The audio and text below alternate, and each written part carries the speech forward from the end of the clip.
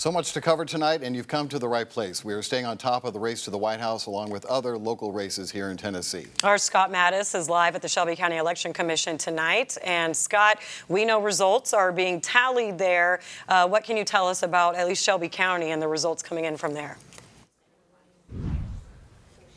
Uh, well, what I can tell you is we've been actually moved to a different part of this facility, and that is because where we were before is, like I told you in my last live shot, is where those ballots and where those computers are coming in uh, through several different doors. Now, I can tell you we moved to what is traditionally the quote unquote situation room or the media room where you have a screen directly behind us that is essentially giving us the tallies, the votes, etc. But right now you might notice that there are not any precincts reporting. Of course, 142 precincts in Shelby County have not reported yet. We're likely to see uh, numbers start to come in possibly by the 9 o'clock hour. And as I understand, the Shelby County election workers here, they can't even start actually counting those votes looking at those ballots, whether it be on paper or electronically, until the very last voter at any number one of those uh, precincts across the county have actually left, and there's no confirmation right now, Linda Phillips has not come into this room to tell all of us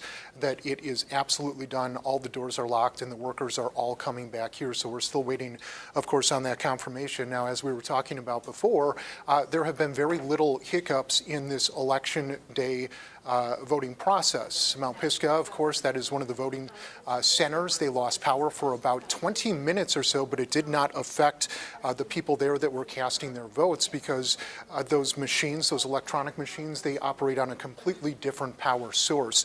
Uh, so really no issues there. Of course, the weather We've talked about this pretty much all night. That has likely uh, diminished some of the voting in many of the precincts because it was coming down uh, quite hard for about an hour and a half, two hours, depending on where you were or where you are in Shelby County. But once again, the bottom line to this big story, we just like you, are waiting for those numbers to finally start coming down, and hopefully we'll start to see those coming down in less than an hour. Of course, we'll stay on top of that for you, so please stay with us. Live in Northeast Memphis, I'm Scott Mattis.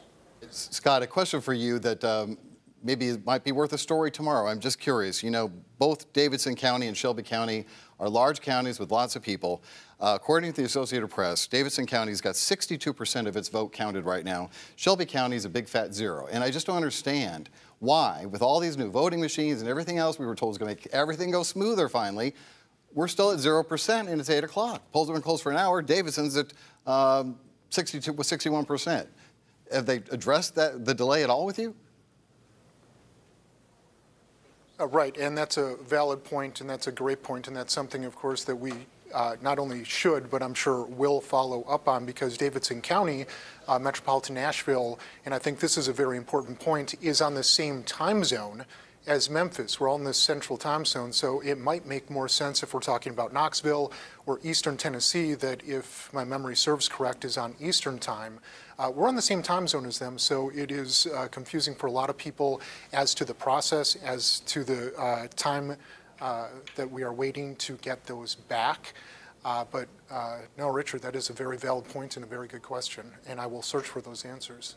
I know you will. Uh, and it is frustrating. You're right. Thanks, Scott, very much.